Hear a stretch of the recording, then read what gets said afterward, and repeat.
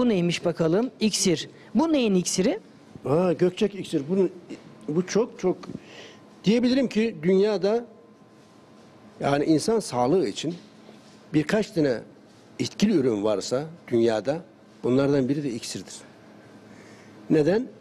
Limon suyu, sirke, sarımsak, zencefil, zerdeçal, kurkuma, longa, altın başak otu, zeytin yaprağı, kakuli içerir. Ne yapar?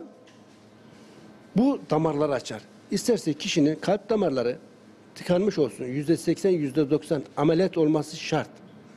Ameliyata gerek kalmaz. Mesela Gaziantep'ten Sebahattin Bey iki defa stent takılmış.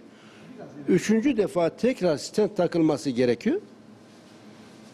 Arkadaşı böbrek yetmezliğinden dolayı bizim ürünleri almış, kullanmış, iyileşmiş. Demiş ki sen stent miten taktırma, gökçek iksiri kullan. Bak göreceksin. Allah Allah neymiş demiş. Aradı beni. Dedim ki kullanın iki ay. Sonra tekrar doktorunuza gidin. İki ay fazla değil. Doktorunuz ne diyecek? İki ay kullandı. Doktor demiş ki amcacığım senin hiçbir şeyin yok. Evine gidebilirsin.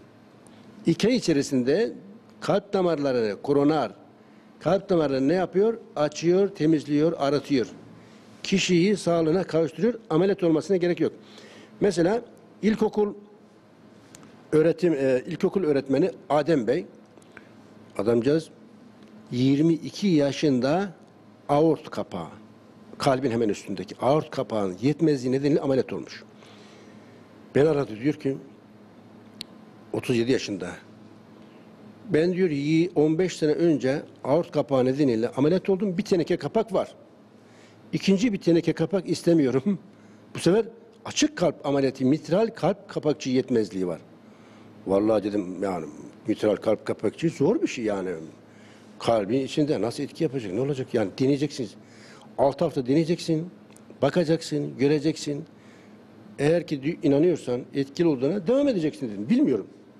Evet, 6 benim o hafta e, sonra o 6 hafta sonra beni aradı dedi ki Allah sizden razı olsun. Ne oldu? Oğlunun arkasında yürüyemeyen kişi, oğlu 12 yaşında genç. Onunla beraber spor yapıyoruz, jogging yapıyoruz, koşuyoruz diyor. Birkaç kilometre artık koşuyorum diyor. Maşallah. Yürüyemeyen, yürüyemeyen kişi. Hamdolsun. maşallah